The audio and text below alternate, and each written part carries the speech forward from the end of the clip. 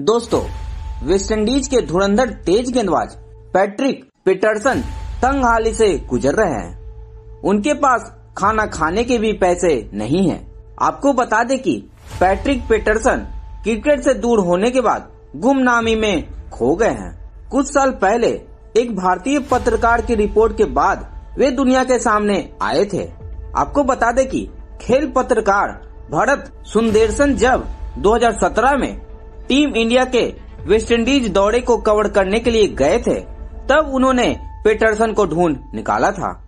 अब उन्होंने ही पेटरसन की खराब माली हालत के बारे में जानकारी दी है। सुंदरसन ने ट्वीट कर कहा है कि पैट्रिक पेटरसन का रोज़मर्रा का काम भी समय के साथ खराब होता जा रहा है।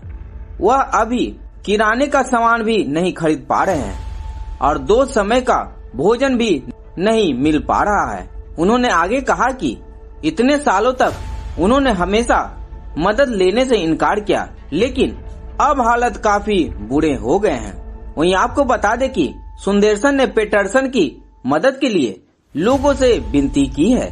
इसके बाद टीम इंडिया के star off spinner Ravichandran Ashwin ने भी पेटरसन की मदद की अपील की है।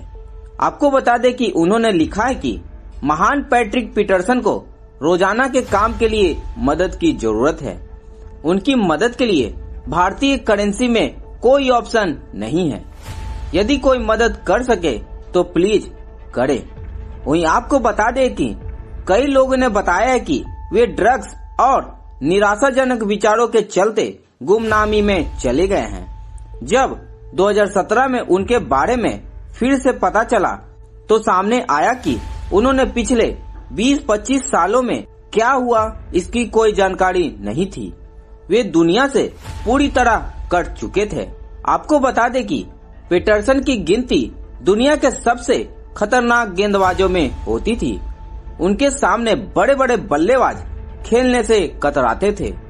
उनकी गेंद लगने के बाद उड़ते हुए स्टंप के कई सारे वीडियो यूट्यूब पर पड़े हैं। वहीं वेस्टइंडीज के पूर्व विकेट कीपर जेफ्री डोंजो ने भी कहा है कि पेटरसन वेस्ट इंडीज के सबसे तेज गेंदबाज थे। वहीं आपको बता दें कि पैट्रिक पेटरसन सात साल तक वेस्ट इंडीज टीम की ओर से खेले। इस दौरान उन्होंने 28 टेस्ट में तिरानवे विकेट लिए और उनसठ वनडे में 90 विकेट चटकाए हैं। वहीं टेस्ट में 24 रन देकर पाँच विकेट उनका बेस्ट प्रदर्शन है। वहीं बात करें वनडे में तो उन्होंने 29 रन देकर छह विकेट लिए थे। इंटरनेशनल क्रिकेट में उन्हें ज़्यादा लंबे समय तक खेलने का मौका नहीं मिला, लेकिन घरेलू क्रिकेट में उन्होंने काफ़ी जलवे बिखेरे।